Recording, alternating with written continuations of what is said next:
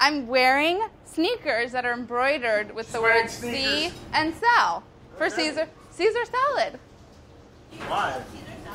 Because Cae Sal is my favorite is one of my Wow. favorite dishes in the world. That's intense, Molly. Anyway, um, there it's spelled wrong, which is kind of annoying because my husband up the customization and didn't realize it, but I still think it's commitment.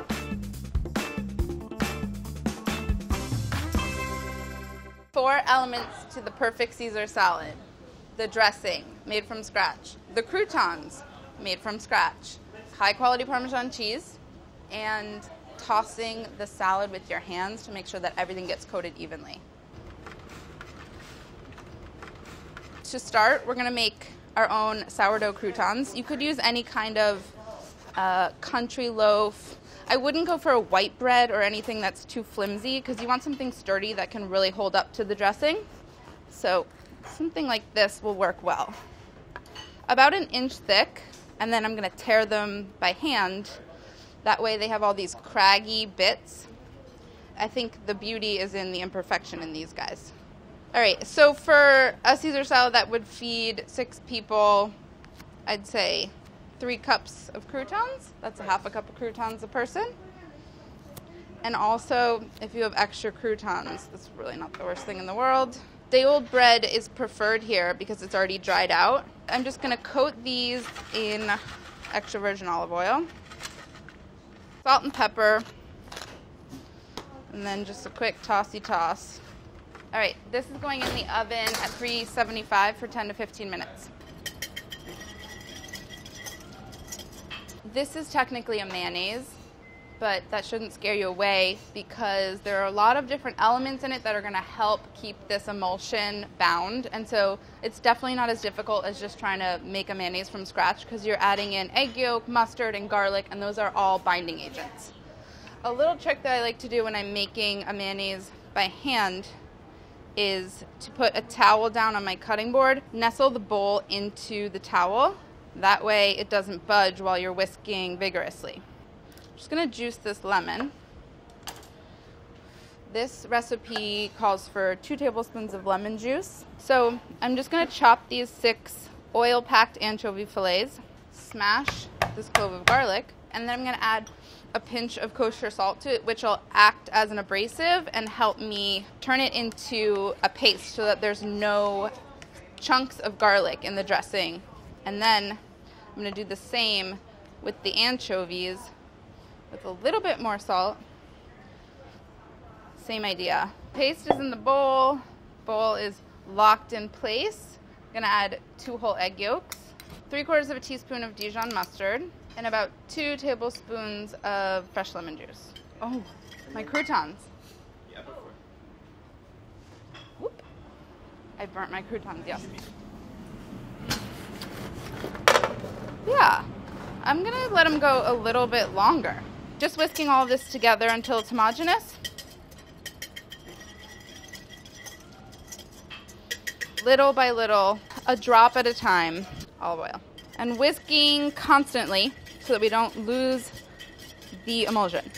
And now I'm gonna switch to a more neutral oil because if I were to use only olive oil, it'd have a pretty strong olive oil flavor and we're looking for something a little bit more neutral to support the rest of the ingredients. If you look in here, you can see that there are no oil droplets that are unsuspended. If it were broken, there would be some liquidy stuff all suspended with olive oil and you would be able to tell. It's gonna lighten in color as well because we have egg yolks in here which are dark yellow and we're adding something clear to it and we're whipping air into it. And I think it's really important to have the egg yolk in here. It's what makes this dressing creamy and not just a vinaigrette. Do you see how it's light in color? See how it kind of holds its streaks? It's thick, it's creamy. I'm gonna add in now three tablespoons of Parmesan cheese, whisk that in, and since there are not that many ingredients in this dressing, it's kind of important that you get high quality cheese.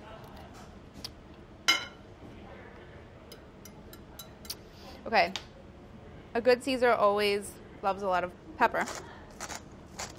So you can do this to taste. a little bit of salt, although the anchovies had a lot of salt in them, as do the, as does the Parmesan cheese. So you don't need a ton. We're gonna check and see if the croutons are ready. Oh, look at that, they are. Golden brown and delicious. Okay, so we'll let these cool while we grill our romaine. We have three romaine hearts here, which are the crunchiest part of the romaine, so it's best to start with romaine hearts for a Caesar as opposed to the whole head. I'm gonna cut them all in half lengthwise through the core so that they stay intact on the grill. So, core, leaves. Put them on here.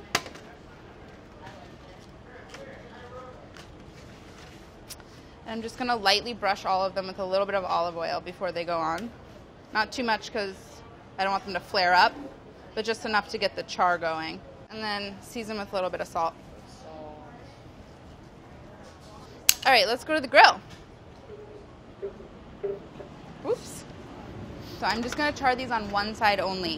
The goal here is not to cook the romaine so much as it is to establish a good char on one side and leave the rest of it pretty fresh so that it still eats like a salad. So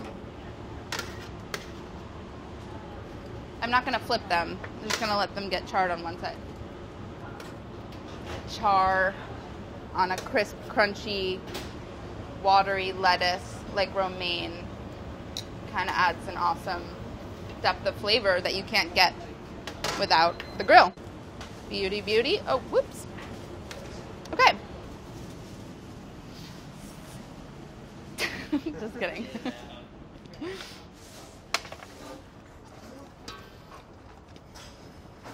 I like to add my salad dressing to the bottom of my bowl.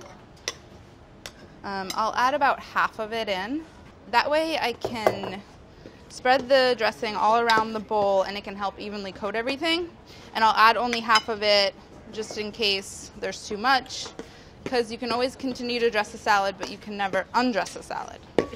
I'll do a couple of these at a time so I'm just going to toss them into the bottom of this bowl and lightly dress them. And then here's where the fingers come in helping to get the dressing in all the little leaves here.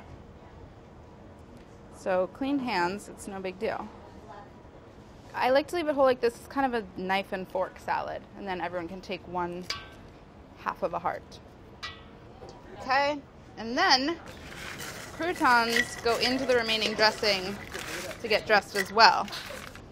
So I'm gonna just use the rest of the dressing to dress the croutons because that will make them that much more delicious. I think I might have made too many croutons, and I don't hate it.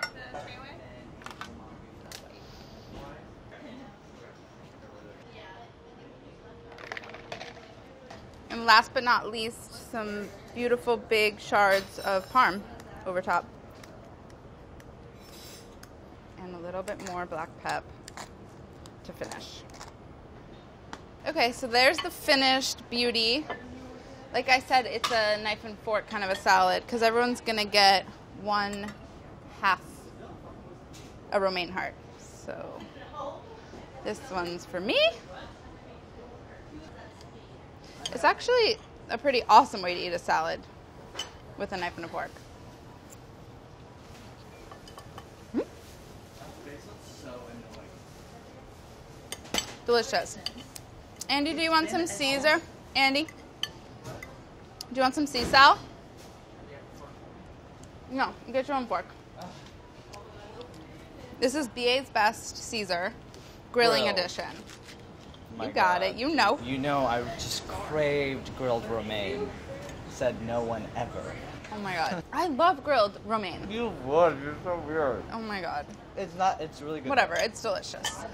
You're such a hater. The croutons are perfect. Thank you. And I dressed them, you know. We made our own croutons, we made our own dressing, we dressed with our hands, and we got good quality Parmesan cheese. So we basically mastered BA's Best Caesar salad.